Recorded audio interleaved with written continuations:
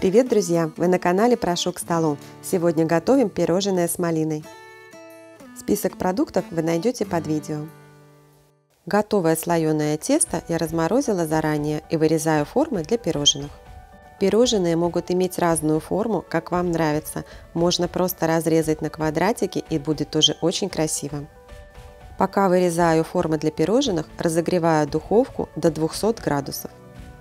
Основу для пирожен перекладываю на противень. Я использую силиконовый коврик, подходит также пергаментная бумага. Вилкой взбиваю яйцо и им смазываю основы для пирожных.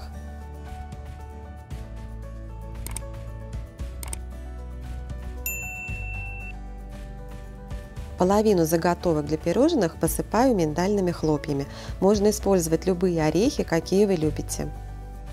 В разогретой до 200 градусов духовке выпекаю 7 минут. Вот такая румяная красота у меня получилась.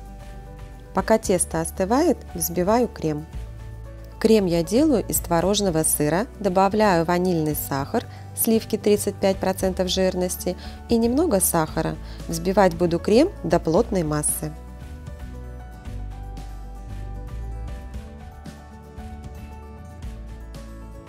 Перекладываю готовый крем в кондитерский мешок.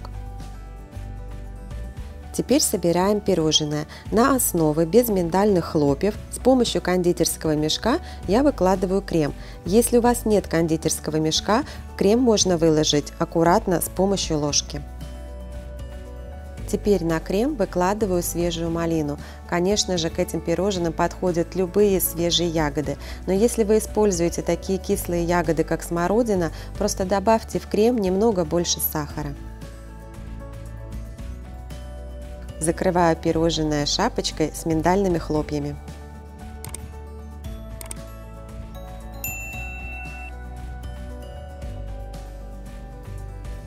Друзья, пирожные готовы. Всего 15 минут и прекрасный десерт к чаю готов. С нетерпением жду ваших комментариев.